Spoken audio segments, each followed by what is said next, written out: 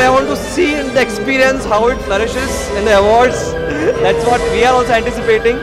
But uh, as far as what I can see, it's wonderfully arranged. It's a great opportunity for us that you know it gives us encouragement to make more films and uh, you know probably it is for the first time you know I have been in industry since five years I've been associated with our previous two films Kevi Rite Jaish and Bey Yaar Actually, I am a अगली film बना ही रहा था આવા level પર કોઈ અમને appreciate કરે તો આઈ થિંક સો એ અમારી એનર્જી ડબલ ટ્રિપલ થઈ જાય નો ફિલ્મો બનાવવાની thanks a lot to Colors Gujarati for taking this initiative and give us a platform to lot of talent, lot of budding talent and lot of films, you know. So thanks a lot.